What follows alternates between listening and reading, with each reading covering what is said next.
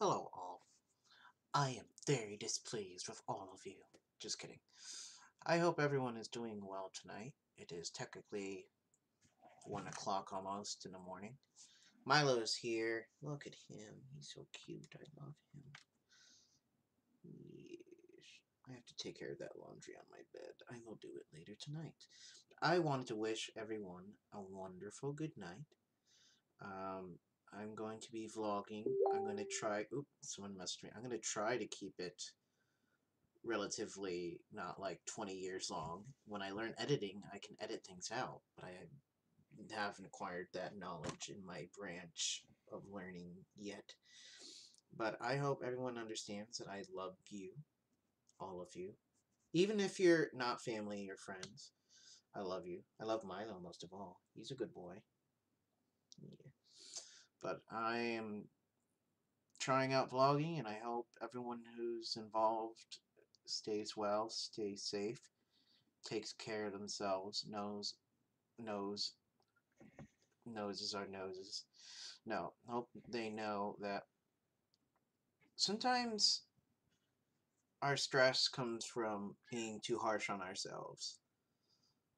So just, I guess, treat yourself as you would treat someone you deeply care about, but not obsess or become like narcissistic, but just be aware of when you're like feeling down or well, I'm gonna put you down. There you go, baby. But when you're feeling like you've messed up or you're feeling conflicted with either you've done something wrong or you feel did something wrong or did somebody dirty or something like that. Just those negative thoughts are just overthinking sometimes. So just breathe.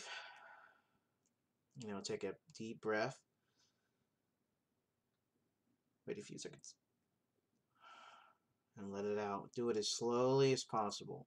You should calm down. And think of something nice, something you enjoy, like candy or a park or someone you care about a lot or something. Just something that keeps you grounded. I guess is the best way to put it. Just and make sure your feet are on the floor. And just kind of pretend like you're in space and you just don't want to fly off into the universe and die like that. Just don't think of that. Just think, stay grounded. Stay, you're on this planet right now. It's not great, but it'll get better. It's not going to, be like, fly into your lap, though. Life is very harsh, so you have to you have to really work at it. And it's not that you're not working on it right now. It takes time for everyone, differently, at different levels. Doesn't mean you're dumb or different or weird. You are different, but it's a good thing. And Milo, stay. You've been clingy all day. Stay. Thank you. I'm trying to do a video, baby. I love you. I know they want to see you more than me. I know. But I have to deprive my viewers of that because I don't want money. I'm not here to monetize. I just want to vlog. But when you're grounded, just make sure you remind yourself that you need to take it easy on yourself too. You shouldn't be lashing out at yourself for something you felt you've done wrong. It depends on the severity and the type of crime you've committed, but I'm just saying crime as a joke. I don't think you've committed crime. Did you? You can tell me. I won't go to the cops. I'm not a snitch. Snitches get stitches. But when you remind yourself of all the bad things, just go easy on yourself. Just be like, I made mistakes, and as long as you learn from them, and you try to be a better person and just be understanding and open open-minded and empathetic towards others, you'll realize that you've been putting on a huge more ton of stress than you needed and not necessarily are you a villain or someone who's useless or worthless or hopeless or helpless. You realize that you're human. You never felt human. Nobody's really treated you like that. And then anyone who did, you deny and feel bad for so many things. But you don't have to. You can take one day at a time and just be like, I want to find me and be a better me. I want to do that for myself and for others. Because the reason I wanted to get into vlogging was to kind of reach a better, broader audience to make sure I spread the message of, of Miloism. That is my religion. I believe in worshiping a my cat. Um, and I believe that that is not crazy. I think my religion is the best religion. I'm just kidding. I, I, I don't believe in anything. Probably. I don't know. My beliefs have shifted after, but this is not a religious video. I'm just I'm just joking. But I think people should care about themselves more and worship my cat. That's all. He is a very good cat. Like if you saw him, you would immediately fall in love with him. I think he you couldn't really see him over here, but I think you'd really like to be in my cult. I mean religion. I mean, I mean whatever you want to call it. You you, you don't have to. Again, joking. Don't join cults, kids. They, that's bad. Don't do that. They will use you for your money and hurt you and torture you. And it's not all cults, but most, if not all. I don't know. I've never been in a cult. Wanted to, but I don't want to anymore. But treat yourself better, tangents aside, and just understand that you're learning. But sometimes harsh lessons come, and getting good things is earned. And sometimes it's not earned. Life is very unfair. But don't let it get you down, because eventually you'll find something, like a hobby, which I'm doing right now, that gives you a sense of purpose, and some responsibility is healthy. Sometimes we mess up. We should own it up, and not do that anymore, or try not to.